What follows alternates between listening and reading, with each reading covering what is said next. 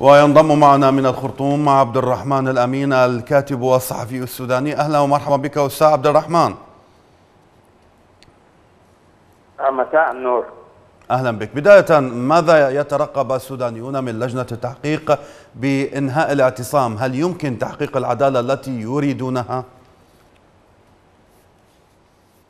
أنت تعلم أن هذا واحد من البنود الذي تم تضمينه في الوثيقة الدستورية في تكوين لجنة مستقلة لتقصي الحقائق بشأن قتلة الشهداء ومن ثم القصاص منهم أو محاكمتهم حدث هذا كما تعلم كان في التاسع والعشرين من رمضان الثالث من يونيو الماضي وكذلك حدث هذا في الثامن من أبريل الماضي.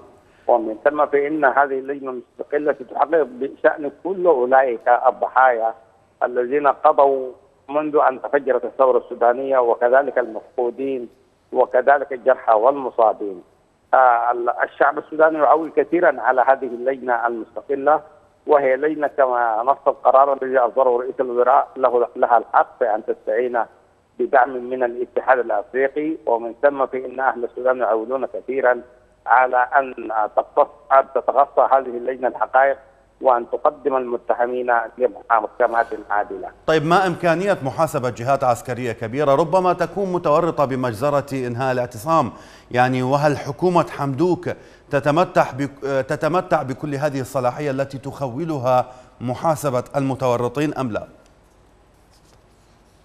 هذه اللجنة لأجل أن تتقصى الحقائق بشكل عادل جدا آه لها كامل الاستقلالية عن الجهاز الحكومي ومن ثم فهي تعمل عملها مستقلة. وإذا ما توجهت أصابع الاتهام إلى أي جهات سواء كانت عسكرية أو غيرها فإن هذه اللجنة لها حق أن توجه الاتهامات وأن ترفع الأمر للنائب العام ليتولى رفع الحصانات. طيب إلى أي درجة أصبح الشارع السوداني متيقنا بأنه وصل لما يريد في ظل اختيار المجلس السيادي الذي سيحكمه العسكر مدة 21 شهر، وهل تعتقد أن هذه الفترة ستمر بسلاسه؟ إلى الآن ليست هناك تعقيدات في التعامل ما بين العسكريين والمدنيين والأمر يمضي بسلاسه وهناك تناقم وحرب كبير جدا ولم يخطو على السطح إلى الآن أن هناك ثمة إشكالات تعترض العلاقة ما بين العسكريين والمدنيين داخل مجلس السيادة. طيب ماذا عن الحريات العامة والصحفية؟ هل هل تغير المناخ بالشكل المطلوب للانتقاد بشكل موضوعي؟ هل بات السودانيون أحرارا إلى هذه الدرجة؟ حتى الآن ليست هناك أي رقابة سواء قبلية أو بعدية على الصحف وعلى وسائل الإعلام المختلفة ومن ثم لم تعد هناك من رقابة أمنية وليس هناك من سيف مصطفى على الصحافة ولا على أجهزة الإعلام وأصبح القاضي الوحيد الذي تحاكم أمامه الصحافة إن أخطأت أو جنحت أن تحاكم أمام القضاء قاضيها الطبيعي. ماذا عن الحركات المسلحة؟ كيف تقيم تعامل حكومة عبد الله حمدوك معها في وقت تتهم بعضها الحكومة بإقصائها من الحوار؟ أنا تقديري الذين يتحدثون عن الإقصاء يعمدون إلى المبالغة. الحكومة كانت تماما متوجهة بكل الصدق نحو التفاوض مع كل الحركات. في جوبا كل الحركات أغفلت على المفاوضات التمهيدية بما في ذلك الجبهة الثورية بكل مكوناتها التي حركة العدل والمساواة وحركة تحرير السودان والحركة الشعبية بشقيها في جبال النوبة وفي النيل الأزرق.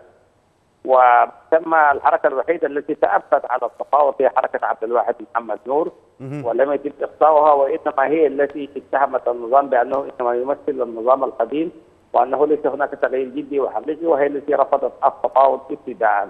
آه المفاوضات التمهيدية آه لبت الوفد الحكومة الذي كان يمثله مجلس السيادة كل مطالب الحركات في أن يتم إطلاق سراح الأسرى ويتم سراح المعتقلين والمحكومين وكذلك ان يفتح الباب للاغاثات الإنسانية وأن يؤجل أمر تشكيل حكومات الولايات وكذلك مجلس التشريعي إلى ما بعد طيب. التوقيع وإقرار السلام. وتم الاتفاق على مجلس التفاوض من 14 أكتوبر إلى 14 ديسمبر. فليس هناك اخطاء كما يشاع أو يقال طيب بأقل من دقيقة واحدة إذا تفضلت هنالك طرح جديد لحل أزمة إقليم أبيه مع دولة جنوب السودان هل يمكن التصالح بملف المناطق المتنازع عليها بشكل سلمي؟